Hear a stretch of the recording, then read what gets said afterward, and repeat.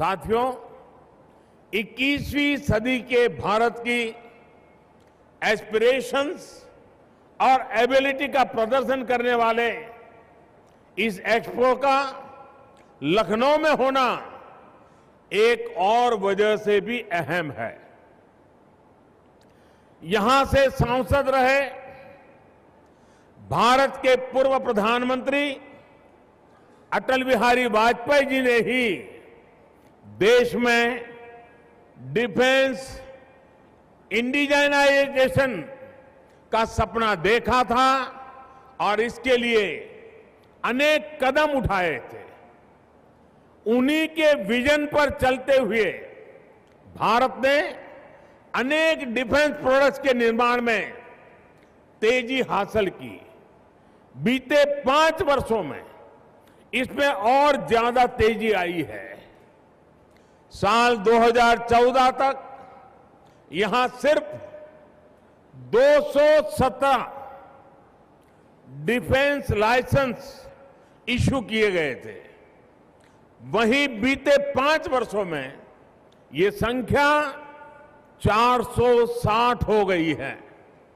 यानी दो गुनी से भी ज़्यादा हो गई है। आर्टिलरी गन्स हो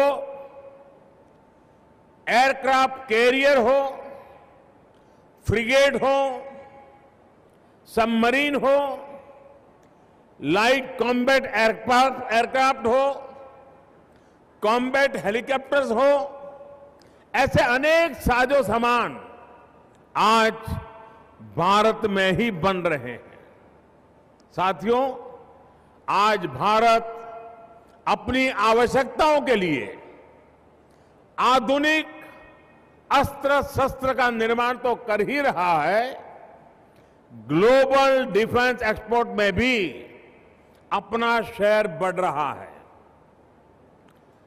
वर्ष 2014 में भारत का डिफेंस एक्सपोर्ट लगभग 2000 करोड़ रुपए का था। वहीं बीते दो साल में भारत करीब सत्रह हज़ार करोड़ डिफेंस एक्सपोर्ट कर चुका है।